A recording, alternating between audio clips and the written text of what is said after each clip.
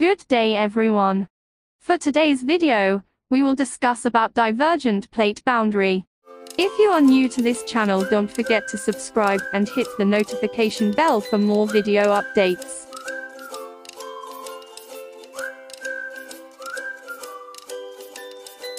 This time, I want you to analyze the photographs of rift valleys and ocean ridges. What have you observed? All pictures show a fissure or crack between two land masses. This indicates that the plates are moving away from each other. If this event continues for millions of years, the distance between the land masses will be far greater than what is shown in the pictures. In this case the plates are forming divergent plate boundary. Most divergent boundaries are situated along underwater mountain ranges called oceanic ridges. As the plates separate new materials from the mantle, ooze up to fill the gap. These materials will slowly cool to produce new ocean floor. The spreading rate at these ridges may vary from 2 to 20 centimeters per year.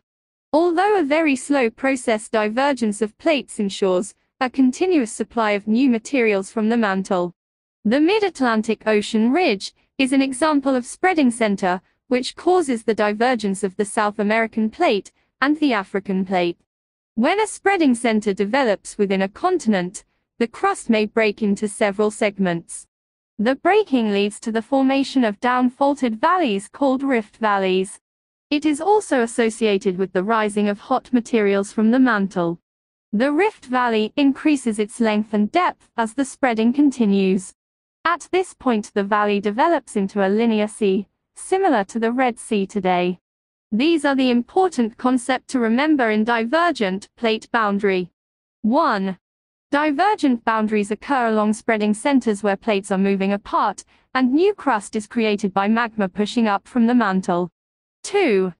Effects that are found at a divergent boundary between oceanic plates include a submarine mountain range such as the Mid-Atlantic Ridge, volcanic activity in the form of fissure eruptions, shallow earthquake activity creation of new seafloor, and a widening ocean basin. 3. If a divergent boundary is between continental plates the effects are rift valley formation which will soon develop into linear sea, shallow earthquake activities, and numerous normal faults. That's all for today's video, thank you for watching. I hope you learn a lot from this video.